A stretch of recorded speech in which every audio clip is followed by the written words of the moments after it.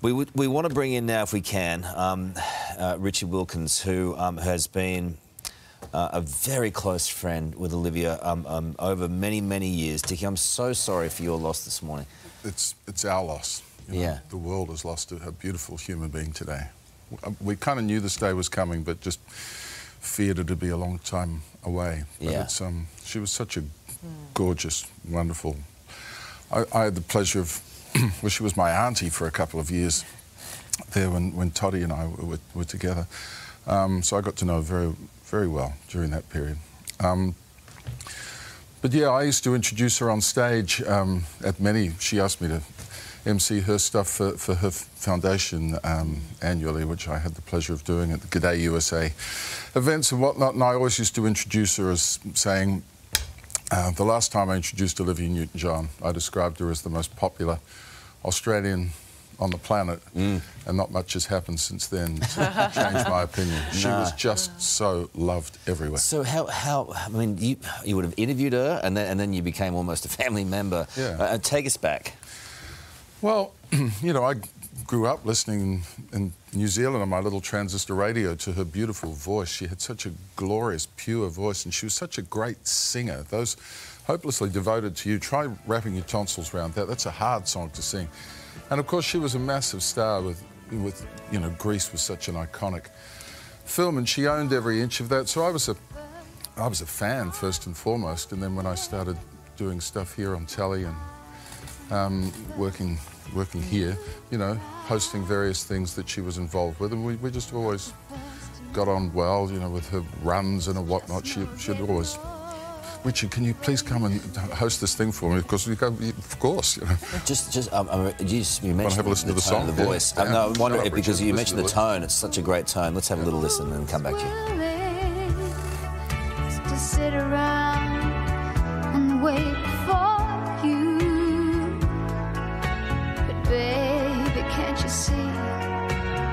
There's nothing else for me to do.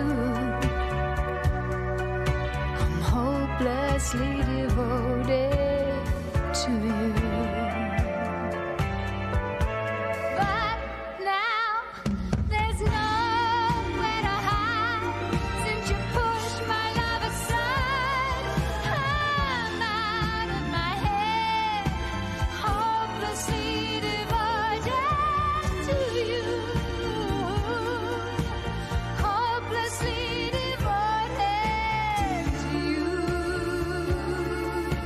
something incredibly special Pure, isn't it? To listen to. Pure, yeah, it's like it's like mother's milk, isn't it? It's just the essence of the earth. It's just so so beautiful. What a voice. So from there, I mean, that was that really. I mean, she was already before that making inroads in country music, and Yeah. um, you She know, had those early early. And hits. also, it was uh, and we read before um, that, that, that, that her break was um, during the Eurovision singing contest, and she was actually actually representing the UK. And ABBA won that year with Waterloo, it's a uh, and good then it year. all sort of went from there. But for her to even go into, oh, have we got the, have we got this performance? No, this is Eurovision.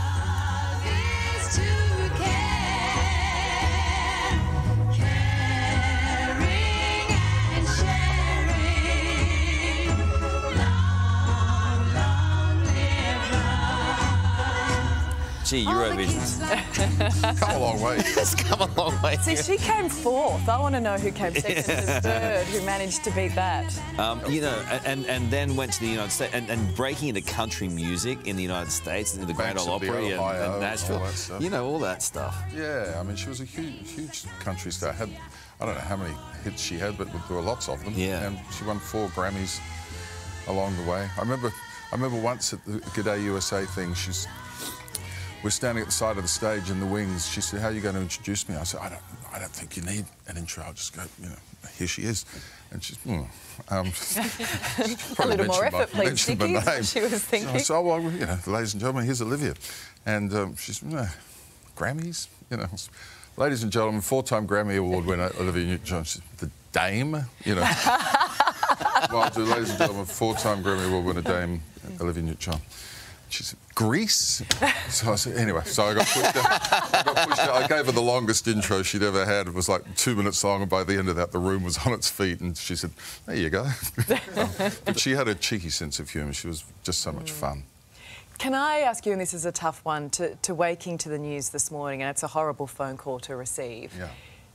What goes through your mind and how you process that? I was just sort of numb. I could call it, um, I think it was about 5.25 or something, and I just lay and lay, you know, all the dates and facts and figures and things just disappear, and I just felt completely, just completely numb. Um, didn't really know what, what to think. Um, but, you know, you sort of kick in, um, come in, talk to you beautiful people. Yeah.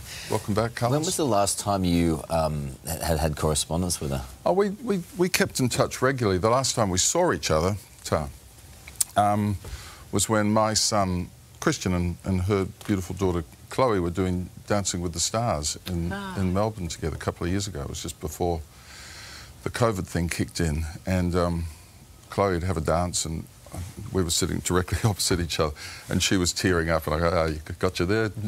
And then, of course, my boy went out. I just completely lost it.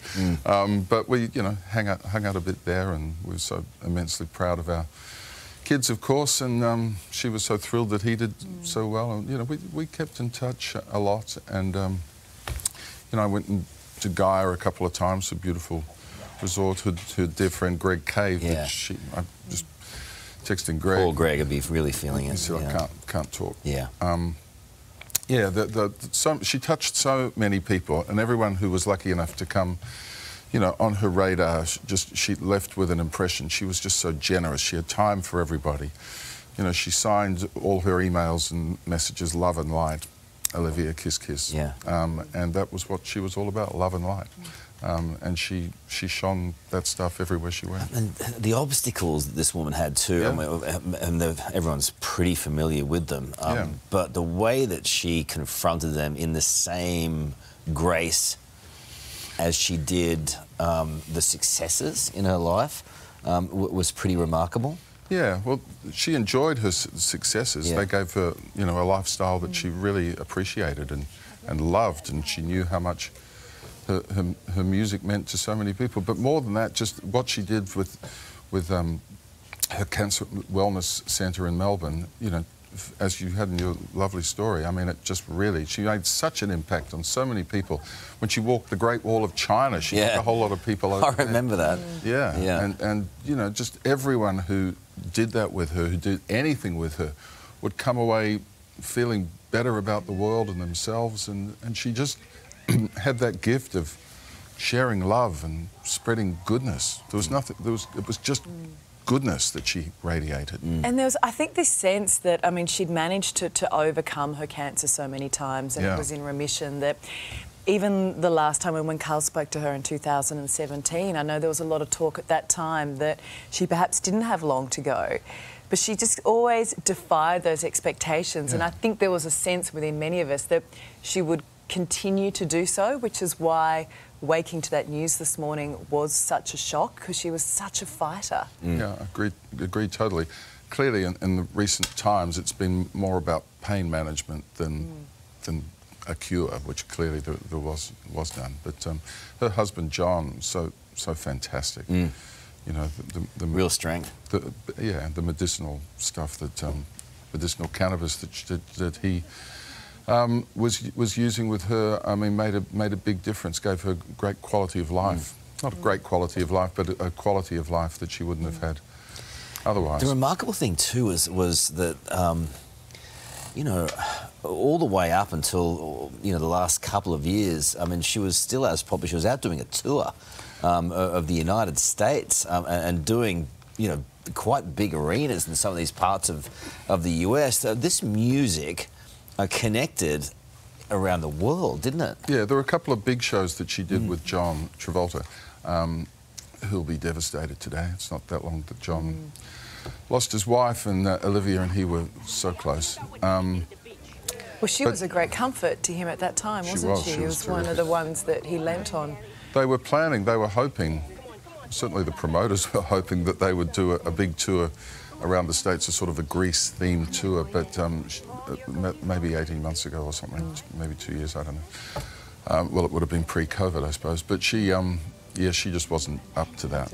What do you think it would have meant to her to have spent her final days at her ranch in Santa Barbara surrounded by her friends and family? That's she loved it there. It was out of Santa Barbara, Santa Ynez, um, and it was very, very remote, beautiful place with a river down the back, and um, it was just gorgeous. There was so much peace, solitude there, and because of her condition, she wanted to stay, even pre-COVID. You know, wanted to just to stay away from other people, I guess, um, and just live there in, in with with her immediate family. Um, what a great shot that is, isn't it? Um, but yeah, she, she would have loved. I, I haven't even spoken to anybody yet. No. I don't intend to today, but I mean, she would have been surrounded by John and Chloe, I imagine. We Dana. appreciate you coming in Yeah. this morning, by the way. We know it's a, it's, it's a big ask, Dickie, when you're going through a lot of stuff within yourself at the moment, losing a friend like this. Yeah, she was. She was a great, great friend and a great, great friend to the world.